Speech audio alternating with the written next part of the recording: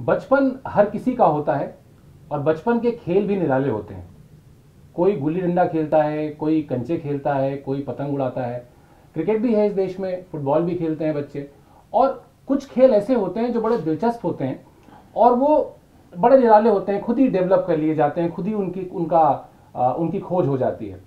तो ये किस्सा मैं इसलिए बता रहा हूँ क्योंकि लखनऊ में दो भाइयों ने एक नया खेल खोज लिया और वो खेल था रेडियो रेडियो। और बड़े भाई भी संगीत में बहुत दिलचस्पी रखते थे, छोटे भाई भी रखते थे। तो छोटे भाई ने बड़े भाई से कहा कि आप अनाउंसमेंट करिए और मैं जो है वो गाने गाऊँगा। तो बड़े भाई ने अपना थोड़ा रॉब दिखाया और कहा कि नहीं नहीं अनाउंसमेंट तुम करो, गाना मैं गाऊँगा। जब ये बात थोड़ा बढ़ गई तो एक चपत भी बढ़ गई छोटे भाई को और कहा गया कि नहीं अनाउंसमेंट करनी तो तुम्हें ही पड़ेगी। तो गुस्से में छोटे भाई ने जो अनाउंसमेंट की वो बड़ी दिलचस्प है। उन्होंने कहा कि आकाशवाणी का लखनऊ केंद्र है, रात के 11 बज रहे हैं। वेद भारती कार्यक्रम में आपका स्वागत है और कार्यक्रम समाप्त हुए। अब ये जो छोटे भाई का ये अनाउंसमेंट था, वो छोटे भाई बाद में बन गए पूरी दुनिया में भजन सम्राट के नाम से मशहूर अनूप जलोटा जी। तो क्यों ना उनसे पूछे कि इस किस्से के बाद क्या हुआ, फिर वो बचे कैसे मार से? भैया, कैसे बचे फिर? मैं तो उसके बाद भाग लिया था तो वो मुझे ढूंढते रहे, मैं भाग गया कह के। तो इस तरह की नोक झोंक हमारी, हमारे भाई से बहुत होती थी। और वो जो आपने कंचे खेलने का ज़िक्र किया ना कंचे हम भी बहुत खेलते थे। और कंचे खेलने में हमको मार पड़ी थी पिताजी की बहुत। पिताजी ने कहा अगर खेलना ही है कुछ तो क्रिकेट खेलो। हाँ। कंचे का कौन सा वर्ल्ड टूर्नामेंट होता है? तो फिर हमने फिर क्रिकेट में दिलचस्पी ली क्रिकेट खेली और क्रिकेट हम अच्छे खेलने लगे थे। जी। हम अपनी टीम में थे कॉलेज की टीम में भी थे अच्छा खेले। और इसीलिए कुछ क्रिकेट प्लेयर से हमारी दोस्ती भी है जैसे अ, कपिल देव हैं सु, सुनील गावस्कर जी हैं इन सबसे हमारी अच्छी मुलाकात है। तो ये पिताजी ने हमें कहा था कि कंचे छोड़ो क्रिकेट खेलो। और पिताजी तो आपके खुद इतने मतलब मशहूर और इतने विश्वविख्यात भजन सम्राट के तौर पर उनकी भी उपलब्धि रही उनकी भी गायकी रही। उनकी देन है जो हम जी गाते जी हैं। बिल्कुल। हमारा अधिकांश संगीत जो है वो उनका ही है जिसे हम गाते हैं। जी। उसे हम और पॉपुलर कर रहे हैं। नहीं लेकिन मेरा प्रश्न ये है कि उस समय में उन्होंने इतनी लिबर्टी आपको दी कि अच्छा खेल लो। वरना तो खेलने का जमाना कहाँ था? वो तो कहावत ही थी कि खेलोगे कूदोगे तो होगे खराब। तो और एक आदमी जिसके घर में संगीत है उन्होंने आपको ये लिबर्टी दी है आपको मानना पड़ेगा। बिल्कुल दी है लेकिन साथ में रियाज भी खूब कराते थे। अच्छा। बहुत स्ट्रिक्ट टीचर थे। कमरे में बंद कर देते थे कि आज तीन घंटे बाद दरवाज़ा खोलूँगा केवल सा गाना और कुछ नहीं। एक अच्छा। सुर सा बस। दूसरे दिन बंद कर दिया रे गाना आज। इस तरह एक एक सुर को उन्होंने हमारे कंठ में स्थापित कर दिया। तो कभी रियाज ना करने के लिए भी पिटाई हुई या सिर्फ़ हाँ होती थी होती थी कि भाई आज तुमने रियाज नहीं किया ठीक नहीं। देखिए रियाज करना इतना ज़रूरी है मैं आपको बताऊँ कि आज भी मैं तीन चार घंटे रियाज करता हूँ। अच्छा। और यही कारण है कि आज अब नाउ एम सिक्सटी सिक्स इस उम्र में मुझे ऐसा लगता है कि मैं अभी छत्तीस साल का ही हूँ और मैं उस तरह तीन चार घंटे प्रोग्राम में गा जाता हूँ। सच तो ये है कि अगर आप तीन दिन ना नहाएँ तो आपके शरीर से बदबू आने लगती है। हम्म। तीन दिन रियाज ना करिए तो आपके गाने से बदबू आने लगती है। क्या बात ये इतना ज़रूरी है। तो इसको अगर तीखे शब्दों में कहा जाए तो ऐसे कहा जाएगा। आपके बचपन की एक पोल मैंने खोली एक मुझे और आपने बताया है कभी कि आप टीचरों को क्लास के बाद गाने सुना के जो है ज़्यादा हाँ बिल्कुल बिल्कुल मार्क्स मिल जाते थे। हमको फ़ोन आ जाता था बेटा घर आ जाना आज शाम को।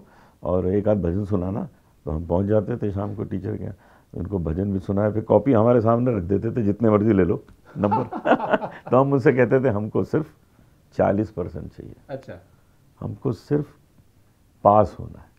हमको डिस्टिंक्शन नहीं लानी वो दूसरों को दीजिए और हम आपको बताएँ कि हमने कभी तीन घंटे क्या एग्ज़ाम तीन घंटे बैठ के किया ही नहीं। एक घंटे में उठ जाते थे।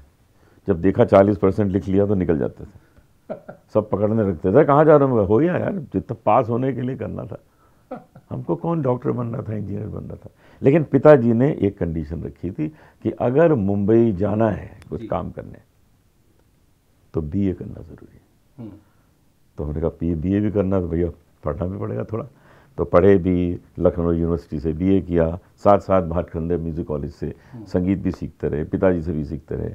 और सच में आपको बताऊँ कि मैंने जो संगीत ग्रहण किया है वो सुन सुन के किया है। हम्म, पिताजी के साथ में बहुत ज़्यादा बैठा नहीं हूँ। उनको सुन सुन के। मेरी माँ भी गाती थी। उनको भी सुन सुन के। हमारी माँ थोड़ा थोड़ा गाती थी। कथक भी करती थी। कथक कथक नृत्य करती थी। उन्होंने फिर शादी के बाद बिल्कुल बंद कर दिया था। लेकिन गाना उन्होंने रखा था थोड़ा थोड़ा तो मैं तो बहुत रियाज करता था वो रियाज नहीं करती थी। तो मैंने सोचा कि मैं रेडियो ऑडिशन दूँ। मैं शायद सत्रह साल का हो गया था। तो उन्होंने कहा मेरा भी फॉर्म भर दो। अरे मैंने कहा रहने दीजिए आप रियाज व्याज करती नहीं है। नहीं नहीं नहीं मेरा फॉर्म भर दो अपने साथ। तो हम दोनों ने एक ही दिन ऑडिशन दिया वो पास हो गई मैं फेल हो गया। अरे! आकाशवाणी से। क्या बात है। तो आज जो आप भजन गाते हैं और वो जो टीचरों को से नंबर लेने वाले भजन थे क्या वही भजन हैं या कुछ बदलाव आया है? बदलाव बहुत आया है। देखिए जैसे उसके बाद हमने कंपोज किए ऐसी लागी लगन जग में सुंदर हैं दो नाम वो काला एक बांसुरी वाला ये सब। लेकिन उन दिनों जो उनको सुनाते थे उसमें चतरिया झीनेरी झीनी था। कुछ जरा गुनगुना के बताइए तो कुछ चदरिया झीनी रे झीनी के राम नाम रस भीनी चदरिया। और गाते थे ठुमक चलत रामचंद्र बाजत पैजनिया ठुमक चलत राम। इस तरह की। अच्छा आप जिस जिस आपने कहा सत्तर मेरे ख्याल अठहत्तर की बात है कि ऐसी लागी लगन कंपोज हुआ। और आप हाँ सेवेंटी एट जितनी जानकारी मुझे है कि उसको कंपोज करने में आपको बहुत समय नहीं लगा क्योंकि किसी ने लाकर आपको आप वो लाइन दी और आपने कई बार उस लाइन को पढ़ा। हाँ बस और अपने आप ही खाना खाते खाते हुआ था। कैसे? अमेरिका में न्यू जर्सी में मैं एक अपने दोस्त के यहाँ बैठा खाना खा रहा था। उनकी वाइफ थोड़ा गाना भी गाती थी। तो जब मैं खा रहा था खाना तो मेरी आदत है, मैं हाथ से खाता हूँ। दाल, रोटी, सब्ज़ी सब, चावल, दाल सब। तो मैं खा रहा था तो उनकी वाइफ ने कहा कि, अनूप जी ये किताब में बड़े अच्छे से भजन लिखे हुए मैंने कहा चल दीजिए। मैंने ऐसे ले लिया, खाता रहा, पढ़ता रहा।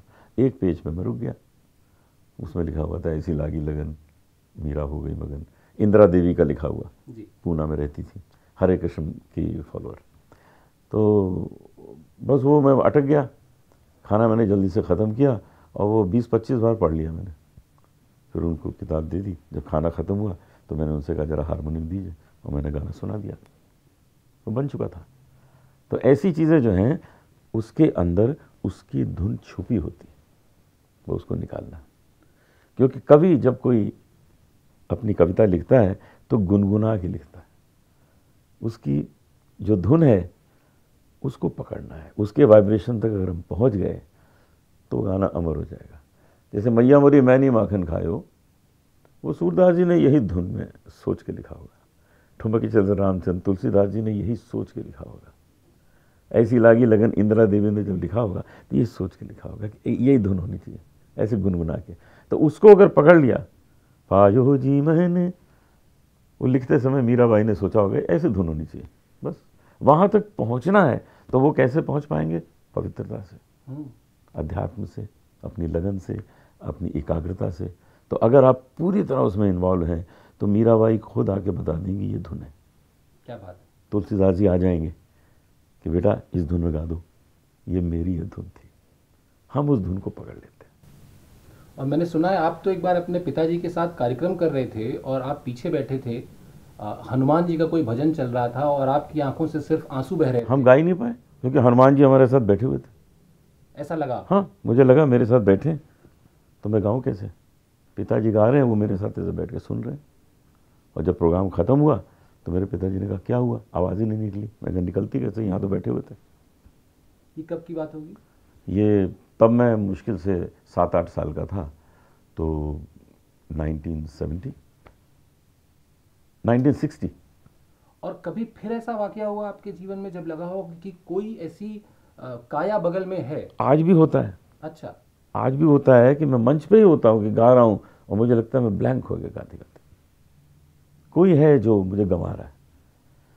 प्रोग्राम से पहले मेरे म्यूजिशियन मुझे कहते हैं आज अनु जी आज आपकी कुछ गला ठीक नहीं लग रहा है क्या बात है? तो मैं कहता हूँ बैठने तो दो हमने कब गाया है? क्या बात कोई गंवाता है। इसीलिए आपने देखा होगा हमेशा कि मैं गाना शुरू करने से पहले ऊपर देखता हूँ। हम्म हम्म। आ रहे हो क्या? अभी पहुँचे नहीं? हाँ, और तब मैं गाना शुरू करता हूँ क्योंकि मुझे उसकी शक्ति से ही मिलता है। नहीं तो आप सोचिए ज़रा तीन घंटा हर तरह की पब्लिक सामने बैठी भजन कैसे सुन सकती है? सही बात।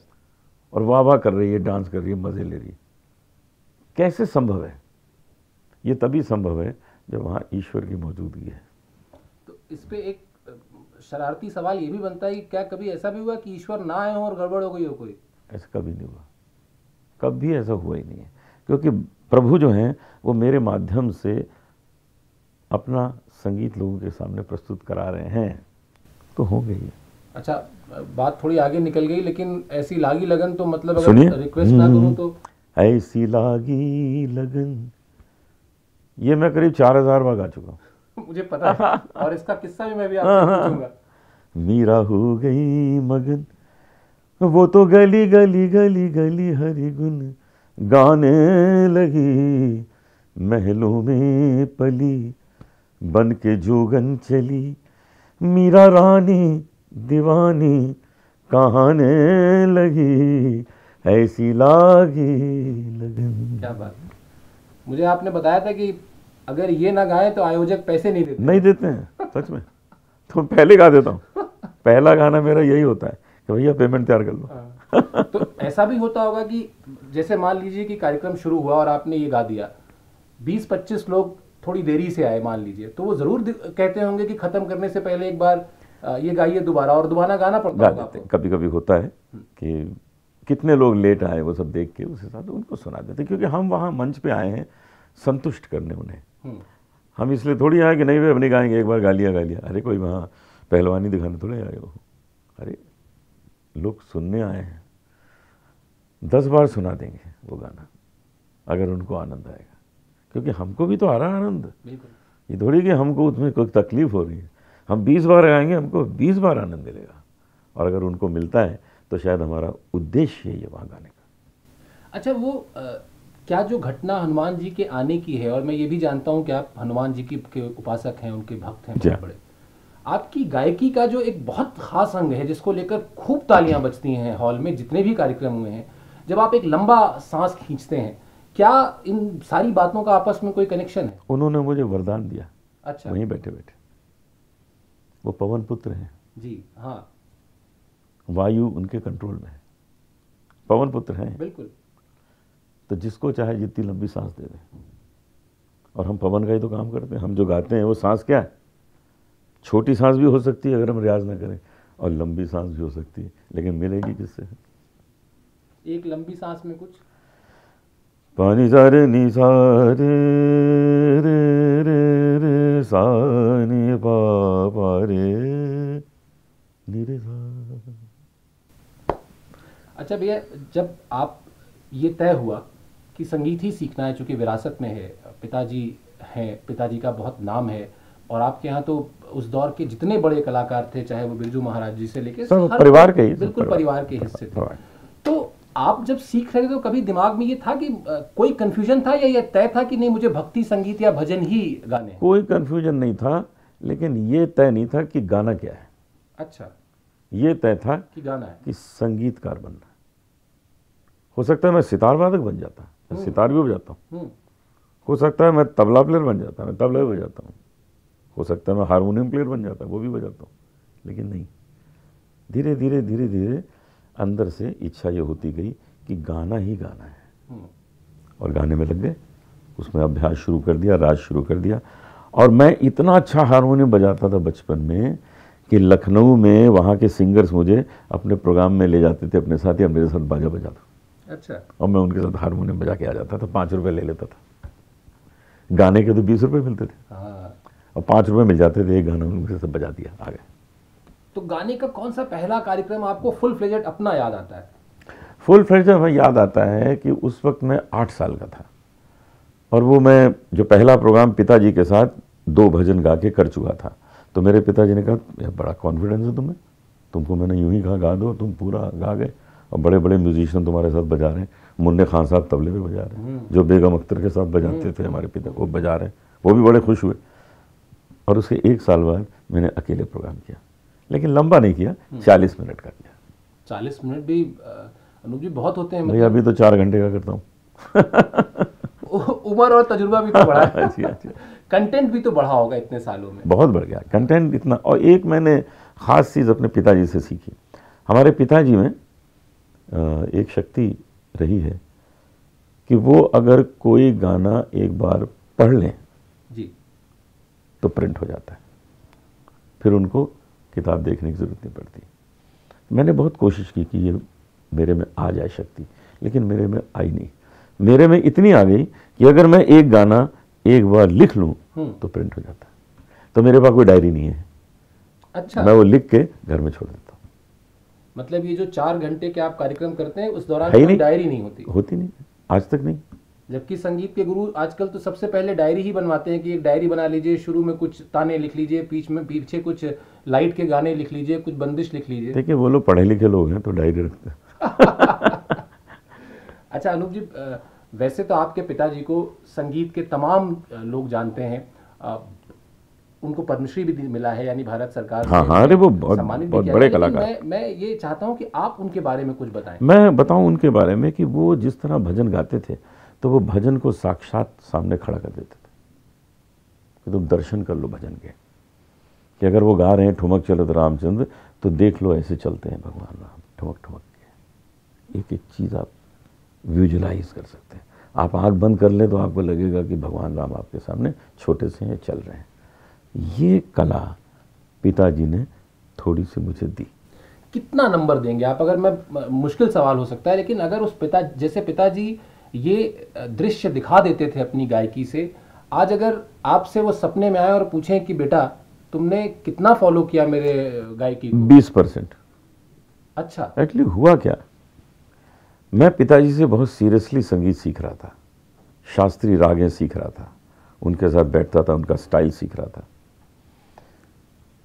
अचानक मेरा एक एल्बम सुपरहिट हो गया।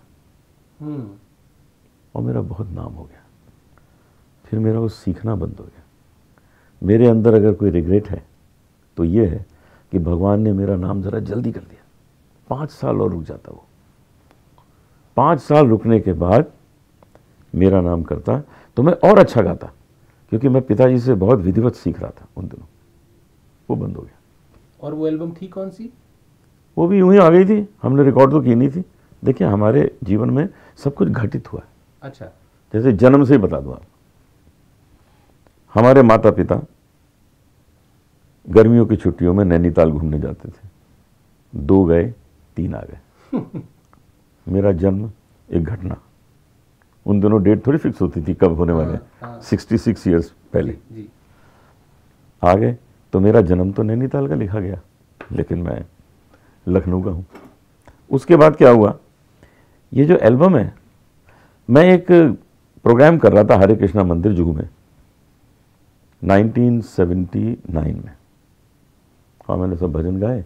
तो हमारे साथ गुरदीप सिंह गिटार बजा रहे थे रूप कुमार राठौड़ तबला बजा रहे थे मैं हारमोनियम बजा रहा था। हमने प्रोग्राम किया हम वापस आ गए। प्रोग्राम बहुत अच्छा हुआ था। तीन महीने बाद एक फ़ोन आता है वहाँ से। उनके रिकॉर्डिस्ट थे दमन सूद। कहने लगे वो तुम गा रहे थे ना यार वो मैंने रिकॉर्ड किया है और बड़ा अच्छा लग रहा है जरा आके सुनो। तो मैंने आके सुना मैंने कहा क्या अच्छा लग रहा है यार? म्यूजिशियन कम है मंजीरे की आवाज़ नहीं है मंजीरा चाहिए। फिर चूँ चूँ चाचा माइक का आ रहा है बीच में। वो कोई ऐसा प्रोफेशनल माइक भी नहीं थे उन दिनों। तो कहते नहीं नहीं नहीं यार ये अच्छा है। मैंने कहा कम से कम मंजीरा तो डब करो। हम्म। तो हमने इंद्रू आत्मा जी को बुलाया सी एच आत्मा के छोटे भाई। हम्म उन्होंने मंजीरा डब किया। उसके बाद पॉलीडोर ने इसको सुना। उन्होंने कहा जी हम इसका डबल एल्बम बनाएँगे अरे मैंने कहा सिंगल बिकता नहीं है डबल एल्बम बनाने चले हो। कहते नहीं बनाएँगे यार। बस वो बना बात ख़त्म। हिस्ट्री उसके बाद से आज तक मेरे को फुर्सत ही नहीं। सीखने की भी फुर्सत बंद हो गई। वो मुझे रिग्रेट है कि वो एल्बम प्रभु अगर पाँच साल बाद आप रिलीज़ करा देते तो मैं और अच्छा थोड़ा गाता। अब मेरी बहुत इच्छा हो रही है कि मैं आपसे कहूँ कि अपने पिताजी को स्मरण करके जरा सुनाइए ठुमक चलत की। हाँ। कैसे वो हाँ। ठुमक चलत रामचंद्र ठुमक ठुमक ठुमक ठुमक ठुमक ठुमक ठुमक ठुमक ठुमक ठुमक ठुमक चलत हाँ चलत ठुमक चलत रामचंद्र बाजत पैजनिया ठुमक चलत राम अच्छा अनुप जी जब आप शास्त्रीय संगीत सीख रहे थे हम्म। तो कौन से हालाँकि बड़ा किसी कलाकार के लिए ये कह देना कि मुझे ये राग बहुत पसंद था और ये राग नहीं पसंद था। मुश्किल होता होगा या शायद असंभव होता होगा। लेकिन कौन से राग आपको ज़्यादा पसंद रहे उस समय में? देखिए या या जो आपके भजनों में सबसे ज़्यादा जिस राग का आप इस्तेमाल करते हो? कुछ राग ऐसे हैं जो हर एक गायक कलाकार के फेवरेट हैं। जी। दरबारी है मालकोस है भैरवी है तोड़ी है केदार है। तो ये सब रागों को सभी गाते हैं चाहे वो संगीत मार्तंड पंडित जसराज हों या भीमसेन जोशी जी हों सब लोग इन प्रचलित रागों को अवश्य गाते हैं। फिर उनके कुछ और फेवरेट राग होते हैं। इसी तरह हमारे भी। लेकिन हमने फिर गुजरी तोड़ी बहुत पसंद की अच्छा। जिसमें जग में सुंदर है दो नाम तुम्हारे शहर का मौसम। कभी कभी भगवान को भी उड़ जाएगा हंस अकेला। तो इतने सारे भजन गज़ल सब गुजरी तोड़ी में हमने बनाए। और कोई बंदिश भी गुजरी तोड़ी की जो आप हाँ हाँ भोर वही थोड़ी बाट तकत पिया नैन अलसान सगरी नैन कहाँ जागे हे भोर वही तोरी बात अच्छा तो एक चीज़ मैं समझना चाहता हूँ एक गायक के तौर पे जैसे जब आप किसी भजन में किसी उल, किसी उल्लास की बात कर रहे हैं। मान लीजिए आप यही कह रहे हैं कि ठुमक चलत रामचंद्र बाजत पैजनिया।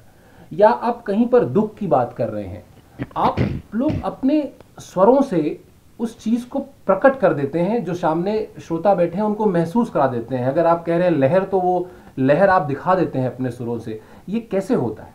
ये इस तरह संभव होता है कि जो कोमल स्वर होते हैं, उसमें अधिकतर सैड सॉन्ग गाए जाते? जो शुद्ध स्वर होते हैं उसमें ज़्यादातर राष्ट्र प्रेम के गाने गाए जाते हैं। तो उससे एक स्ट्रेट नोट से लोगों के अंदर वो जोश जागृत होता है। जब लहर की बात होती है तो हमने तान आलाप सब किए हुए हैं तो वो तान और आलाप उस तरह आ जाता है। अब जैसे गुलाम अली साहब गाते हैं दिल में एक लहर सी उठी है अभी दिल में एक लहर सी उठी। लहर सी लहर सी। अब ये लहर बताते जाइए जितना मानो जितनी देर गा लीजिए। तो ये उपज तब आएगी जब आपने राग सीखी हो और तान आलाप आपके अंदर अच्छी तरह से स्थापित हो। तो क्या ये वही चीज़ है जो अभी थोड़ी देर पहले आप चलत को लेकर प्रयोग हाँ, हाँ, वही है। वही चीज़ है। बिल्कुल वही है। लेकिन उसमें उतरना पड़ेगा शब्दों में। लिरिक्स को समझना पड़ेगा। इसीलिए कहा गया है कि शब्द प्रथम नाद द्वितीय हम्म, कविता पहले है जब कविता को हम समझ के ठीक से गाएँगे तभी तो उसका असर होगा नहीं तो दारा दारा दारा दा दर दा दा दर दर असर नहीं हो रहा लेकिन दिल में एक लहर सी उठी तो शब्द प्रथम नाद द्वितीय अच्छा एक चीज़ मैंने और देखा और इसके लिए मेरे मेरे ख्याल से आपकी तारीफ़ होनी चाहिए मतलब गायकी से अलग आपको परहेज नहीं है। मैंने तमाम आपके वीडियोस देखे कि आप फिल्मी गाने भी गा रहे हैं हाँ, हाँ, हाँ। अपने जन्मदिन झूम बराबर झूम शराबी गाते हैं। जी। परसों हमने अज़ीज़ नाज़र साहब के बेटे को सुना। उसको मैंने कहा यार कमाल का गाते हो तुम। हम भी गाते हैं तुम्हारे वालिद की चीज़ें। चढ़ता सूरज और झूम बराबर। जो चीज़ अच्छी है उसको गाने में परहेज क्यों? गालियाँ अच्छी चीज़ नहीं है बोलो भी नहीं। हाँ। सुनो भी नहीं। लेकिन जो चीज़ अच्छी है उसको गाने में क्या बुराई है चाहे वो रफ़ी साहब का गाना हो चाहे किशोर कुमार जी का हो चाहे मुकेश जी का हो चाहे अज़ीज़ नाजा साहब का हो। तो कोई एक कव्वाली की कुछ लाइनें हाँ? सुनिए। हम्म। ना हरम में न सुकून मिलता है बुत खाने में चैन मिलता है तो साकी तेरे में खाने में। झूम बराबर झूम शराबी झूम बराबर झूम आज उर की बेटी से मोहब्बत कर ले, शेख साहब की नसीहत से बगावत कर ले। इसकी बेटी ने उठा रखी है सर पर दुनिया, ये तो अच्छा हुआ, अंगूर के बेटा न हुआ। कम से कम सूरत साकी का नज़ारा कर ले आके मैं खाने में जीने का सहारा कर ले। आँख मिलते ही जवानी का मज़ा आएगा तुझको अंगूर के पानी का मज़ा आएगा। हर नज़र अपनी बशद शोक गुलाबी कर दे। इतनी पीले के ज़माने को शराबी कर दे। जाम जब सामने आए तो मुकरना कैसा? बात जब पीने की आ जाए तो डरना कैसा? धूम मची है मैं खाने में, धूम मची है मैं खाने में। तू भी मचा ले, धूम धूम धूम धूम, बराबर। क्या बात है क्या बात है। अब आपने साबित कर दिया कि आप डायरी बिल्कुल नहीं रखते हैं। मुझे अभी इसके तीन अंतरे और हैं वो भी आते हैं वो भी याद है। अच्छा कुछ कुछ गायकों के मैं नाम लेता हूँ और उनकी आपको कुछ दो दो लाइनें सुनाएँ। हाँ हाँ बताइए। मुकेश। मुकेश हाँ। सारंगा तेरी याद में नैन हुए बेचैन हो मधुर तुम्हारे मिलन बिना दिन कटते नहीं रैन हो सारंगा तेरी याद में है? किशोर कुमार।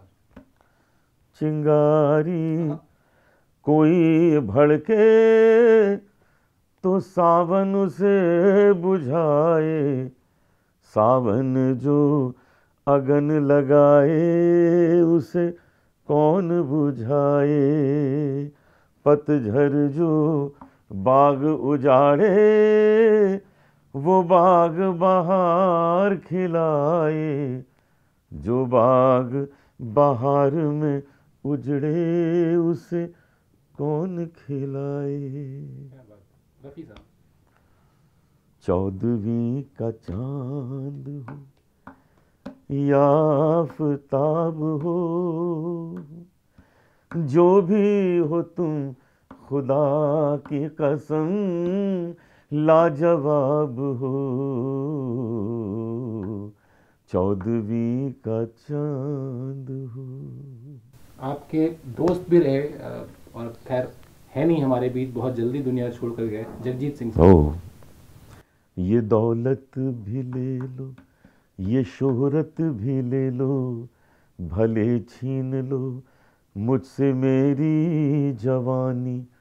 मगर मुझको लौटा दो जगजीत वापस, मगर मुझको लौटा दो जगजीत वापस। वो गज़लें रूहानी, वो शामें सुहानी, वो गज़लें रूहानी। वो शामें सुहानी। बर्मन दा एस डी बर्मन हाँ। यहाँ कौन है तेरा मुसाफिर? जाएगा कहाँ? दम ले ले दम ले ले दम ले ले। घड़ी भर ये छैया पाएगा कहाँ? यहाँ कौन है तेरा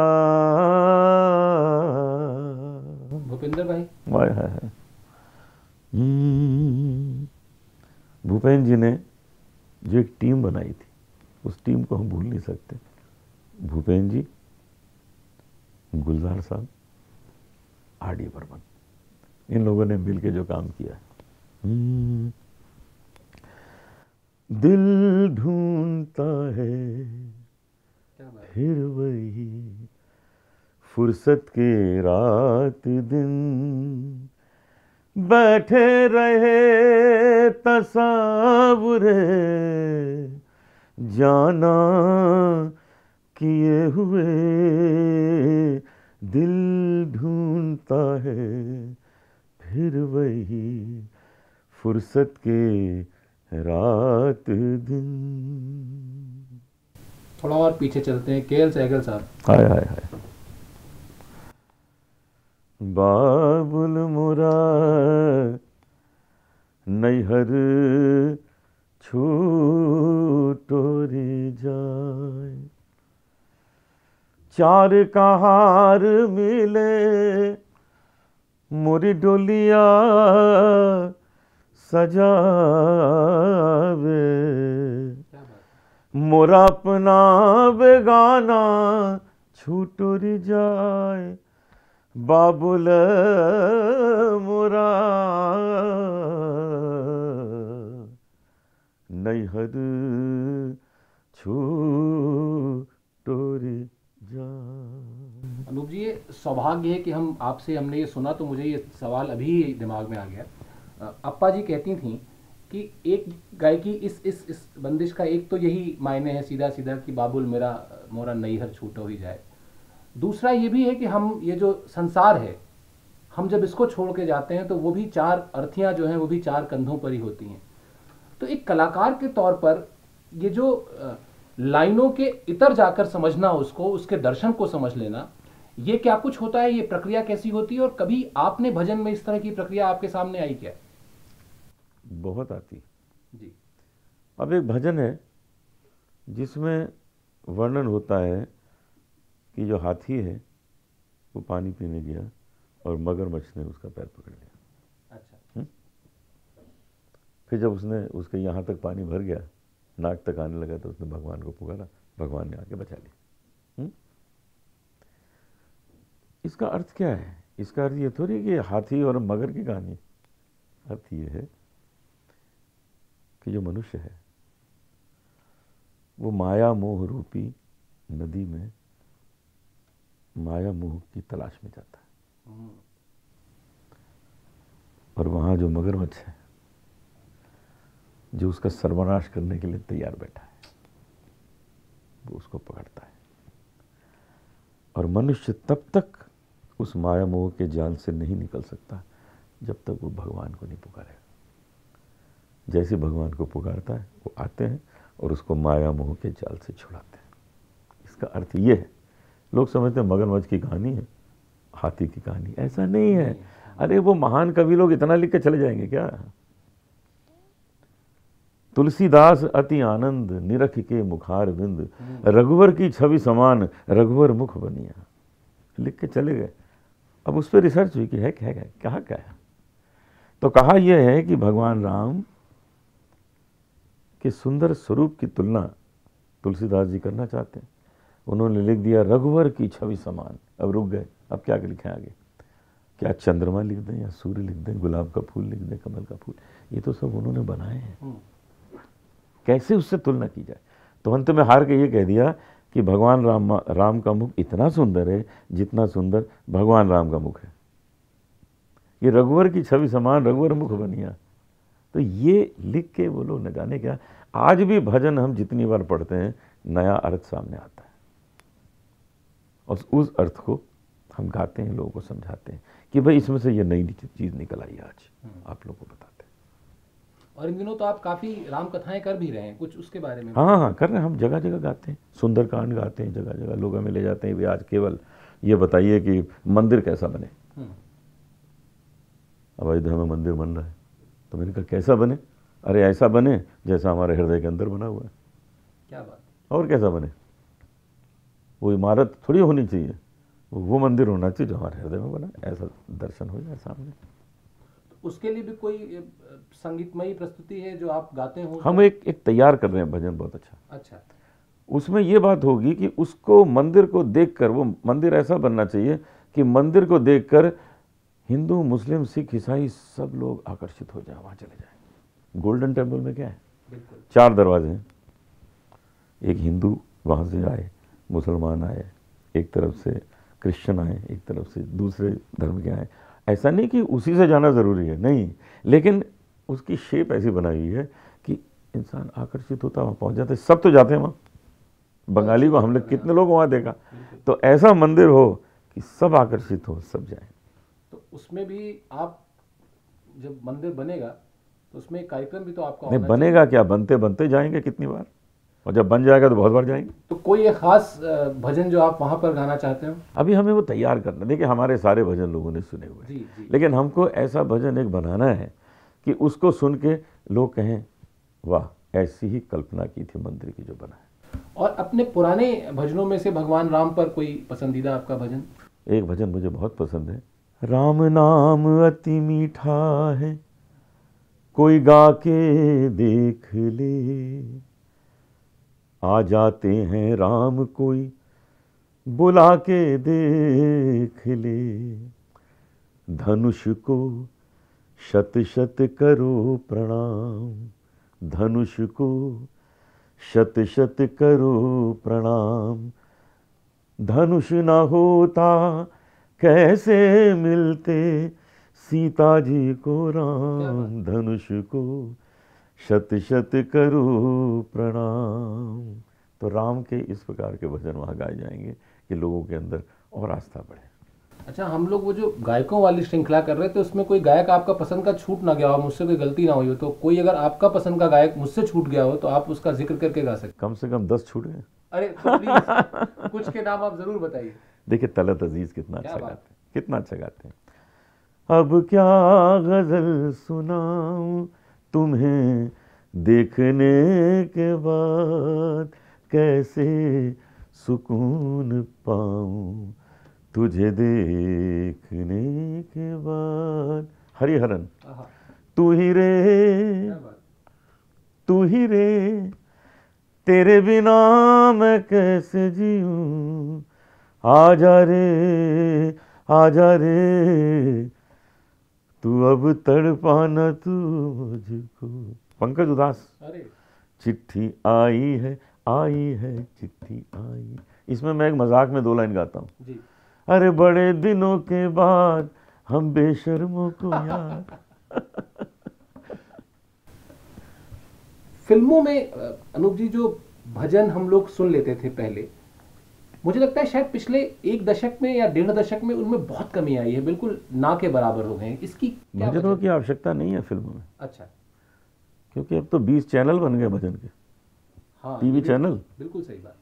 पहले भजन कहाँ सुनाई पड़ते थे? रेडियो में सुनते थे ना। अब तो चैनल हैं चौबीस घंटे उसमें भजन ही भजन आ रहे हैं कथाएँ आ रही हैं तो आप और कुछ सुन ही नहीं सकते उसमें। तो अब फ़िल्मों में कहाँ ज़रूरत है वो सब करने की?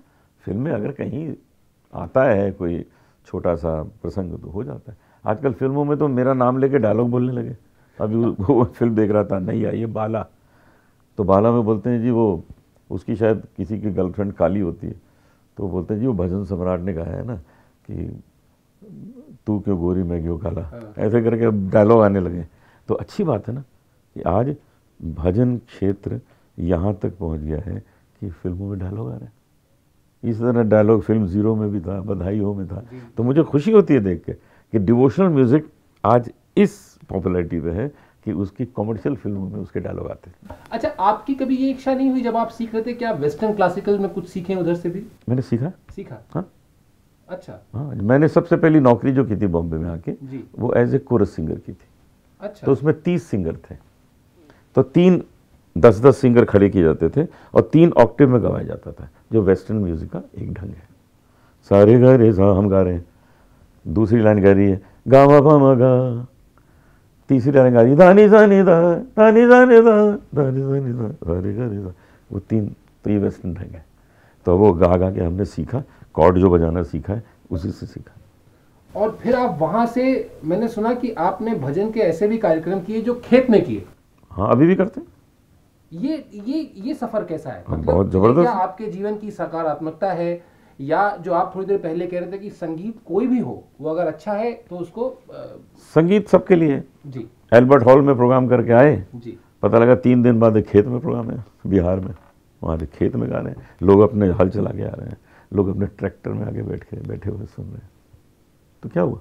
मज़ा कहाँ जा श्रोता कहाँ के ज़्यादा मज़ेदार दोनों जगह अच्छे अच्छा। वो भी सुनने वाले नहीं तो आते क्यों? हाँ। उनके पास थोड़ा साधन ज़्यादा इतनी सी बात है ना कि भाई अपने मर्सिडीज से आए लेकिन यहाँ वो अपने ट्रैक्टर से आए उसकी भी वो मर्सिडीज अच्छा मुझे ये भजन और जगराता इसका फ़र्क थोड़ा समझाइए। हाँ फ़र्क यह है। जगराता का मतलब है कि आप माता वैष्णो देवी के भजन गा रहे हैं दुर्गा माँ के भजन गा रहे हैं। अच्छा। जगराता का मतलब है कि आपको सारी रात जागना है। हम्म। और भजन गाना है। सुबह फिर उठ के उसकी आरती होती है। तो जगराता तो धाम धूम वाला ही होना चाहिए नहीं तो लोग सो जाएँगे। तो कभी आप इस तरह के कार्यक्रम करते हैं जगराता? जगराता का नहीं करते हैं हाँ। लेकिन एक दो माता के बेटे हम गाते हैं जैसे आपको सुनाते हैं। जी। ओ तेरे हाथों की लकीरों का हिसाब मैया तेरे पास है मैया तेरे पास है। हम सब की तकदीरों का हिसाब मैया तेरे पास है। अब ये पूरी रात जब चलता है तो जगराता हो जाता है। बिल्कुल। एक दो चीज़ें बस और कि जो ये दौर बदला है संगीत का खास तौर पे और जिस तरह कहाँ बदला है? जिस तरह के लिरिक्स हैं या जिस तरह के संगीत अभी बन रहा है। नहीं किस क्षेत्र में? फिल्मी म्यूज़िक फ़िल्म फ़िल्म म्यूज़िक बात कर रहे हैं। ठीक ठीक तो क्या उसका कोई दबाव या कोई प्रेशर जो अन्यत्र चाहे वो गज़ल हो चाहे वो भजन हो क्या उस पर भी पड़ता है कि हमें वहाँ से थोड़ा सा अपने आप को बदलना पड़ेगा वरना हम कहीं पीछे ना हट जाएँ ये ये विधा कहीं पिछड़ ना जाए? क्या आप पर कभी कोई इस तरह का दबाव रहता है? या आपको लगता है कि जो है बिल्कुल यही है? रोज कार्यक्रम करता हूँ। जी। और वैसे ही गाता हूँ जैसे आज पचास साल पहले गा रहा था। उसमें कोई अंतर नहीं है। उसी तरह राग लेके गाता हूँ। और ये जो फ़िल्म संगीत है तो बिल्कुल परफेक्ट है आज। हम्म, क्योंकि फ़िल्म संगीत तो फ़िल्म के लिए बनता है। हम्म, अब फ़िल्म बनेगी दबंग तो मुन्नी को बदनाम होना पड़ेगा। हाँ? अगर फ़िल्म होगी उमराव जान तो गज़लें आएँगी एक से तो फ़िल्म के लिए फ़िल्म संगीत बनता है उसको दोष न दीजिए। हम तो कहते हैं म्यूज़िक डायरेक्टर्स को अवार्ड दीजिए कि उन्होंने फ़िल्म को देख के फ़िल्म संगीत दिया। जय हमारे अनु मलिक जी हैं। अनु मलिक जी ने आजा मेरी गाड़ी में बैठ जा वो भी दिया है और मोह मोह के धागे भी दिया है। हाँ क्या बात। संदेशे आते हैं ये भी दिया है। तो इसलिए कि उनको सब कुछ आता है। लेकिन अगर किसी को यही चाहिए तो यही देना पड़ेगा ना फ़िल्म में वही चाहिए। अच्छा एक चीज़ रह गई मुझे अगर सही याद है तो आपके पास कुछ लोग गॉड मैन बनाने का ऑफ़र लेके हाँ हाँ हाँ वो बहुत बहुत साल हो गए इस बात को। जिन दिनों मेरा बहुत नाम हुआ था nineteen eighty three eighty two में जब घर घर में ऐसी लागी लगन बज रहा था। तो मेरे पास बंगाल से फ़ोन आया था कि हम आपसे मिलना चाहते हैं। तो मैंने कहा ज़रूर मैं मुंबई में रहता था। तो टीम आई पूरी। वो तो पंद्रह लोग आ गए। मैंने कब कभी इतने लोग आए नहीं एक प्रोग्राम बुक करने में ही। आइए बैठिए चाय में पिलाई सबको। तो उनसे पूछा हाँ जी बताइए क्या करना है। तो क्या आप कहाँ प्रोग्राम करना है? कहते नहीं प्रोग्राम की बात नहीं है। हम आपसे कुछ और डिस्कस करना चाहते हैं। मैंने वो क्या? कहते हम आपको गॉडमैन बनाना चाहते हैं। हम्म, क्योंकि आप बोलते भी अच्छा हैं और आप गाते भी अच्छा हैं। तो यही तो हमें चाहिए। तो मैंने कहा उसमें क्या करना होगा? कहते वो जो कपड़े हम कहेंगे वो पहनना होगा। पब्लिक के सामने जो खाना है, हम कहेंगे वो खाना होगा। मैंने कहा, यार, मैं तो सब कुछ खाता हूँ, मैं तो खाता, पीता सब कुछ नहीं, वो आप अकेले में कर सकते सबके सामने नहीं कर सकते। मैंने कहा, वो हमारी ज़िंदगी नहीं है। गुड बाय हम जो हैं, वो सामने हैं और जो नहीं है, वो नहीं है।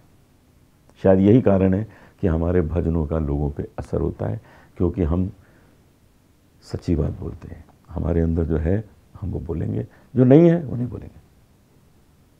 और वो टीम को वापस भेज दिया। आखिरी दो चीज़ें और एक तो चूँकि लता जी इन दोनों बीमार हैं थोड़ा तो उनके उनके लिए कुछ आपकी तरफ़ से शुभकामनाएँ हों और जिसमें कुछ उनकी लाइनें अगर आप गुनगुना दें। और उसके बाद आखिर में एक भजन जो आप अपना गा दें तो हमारे लिए बहुत ही आभार हो जाए हमारा दिन बन जाए। हाँ, लता जी पहले से बेहतर हैं और उनकी तबीयत ज़रूर जल्दी ठीक होगी और वो घर वापस आएँगी। अल्लाह तेरू नाम ईश्वर तेरो नाम। सबको सन्मति दे भगवान। अल्लाह तेरो नाम।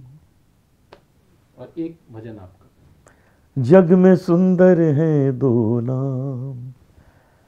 चाहे कृष्ण कहो या राम बोलो राम राम राम बोलो शाम शाम शाम। अनूप जी बहुत बहुत बहुत धन्यवाद क्योंकि हम लोग शुरू हुए बचपन की आपकी बदमाशियों से शैतानियों से और खत्म हुए राम के नाम पर। और यही शायद आपका जीवन भी कुछ ऐसा ही है जहाँ शैतानियों से चलकर अंत में आप भजन पर पहुँचते हैं और फिर जनता को मंत्रमुग्ध जीवन ऐसे ही होना चाहिए जी। कि उसमें सारे पहलू आप आनंद ले लें। अब जैसे मृत्यु और मोक्ष में फ़र्क क्या है? मृत्यु वो है कि आपकी इच्छाएँ बाकी रह जाएँ और साँसें खत्म हो रही हों वो मृत्यु है। आपकी इच्छाएँ पूरी हो गई हों और साँसें बाकी हो वो मोक्ष है। क्या बात है। तो हम मोक्ष की ओर कार्य कर रहे हैं कि सारी इच्छाएँ पूरी कर लें चाहे वो शरारत भी हो वो भी पूरी कर लें। बहुत बहुत हम मोक्ष में मार्ग पर हैं। बहुत बहुत धन्यवाद। धन्यवाद।